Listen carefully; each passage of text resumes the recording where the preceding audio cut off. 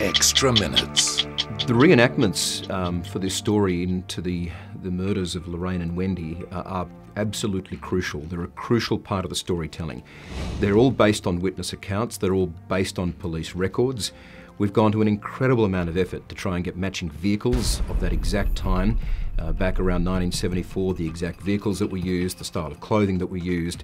It took a lot, a huge amount of effort, uh, some weeks in fact, to get a similar matching road as would come out of Toowoomba down the range where one of the incidents first happened. All right, we're at uh, St Ives at a police driver training facility and we're shooting a reenactment, which is um, a, a, couple of unfortunate girls get taken taken hostage almost by some, some bad guys, we'll call them bad guys. And uh, we've rented a couple of old vehicles, you can see, uh, old Holden EH. There's a, uh, Falcon over there. And um, we're just trying to recreate a scene that was quite actually kind of ugly, but um, very dramatic.